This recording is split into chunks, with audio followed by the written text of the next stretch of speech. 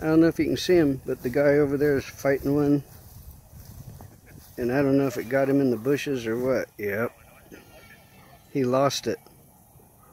Not sure what it was.